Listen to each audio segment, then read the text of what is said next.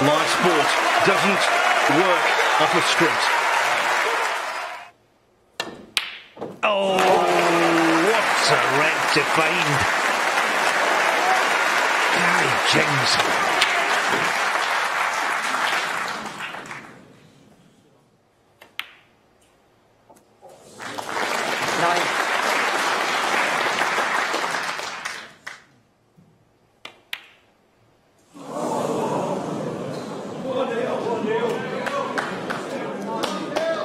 It's hard. One. Like a, a tennis player unravelling.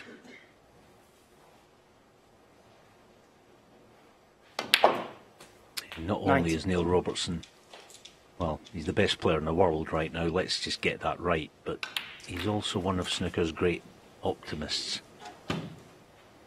Regardless how far down the chips appear, he always believes that he can get the job done in the end. 34.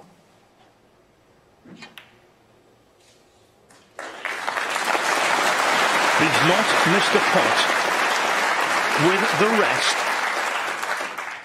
in this match, 49. indeed, in the entire tournament.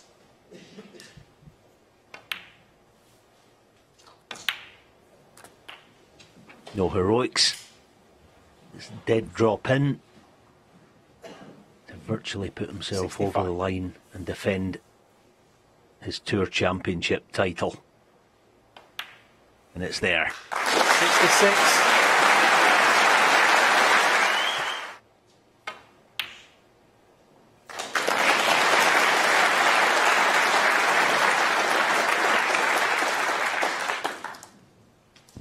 Seventy-two.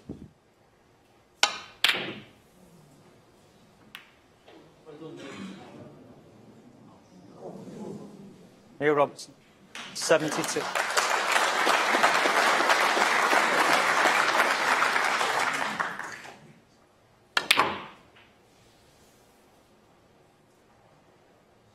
One.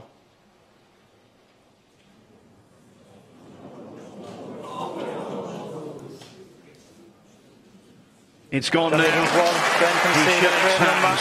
Neil Robertson. Neil Robertson Cheers, John. Feels bad for John Oh, Higgins. yeah, come back, come back. Every person in this venue feels bad for John Higgins. But let's congratulate the Australian. That was superb from 9 4 down. He simply refused to accept his fate.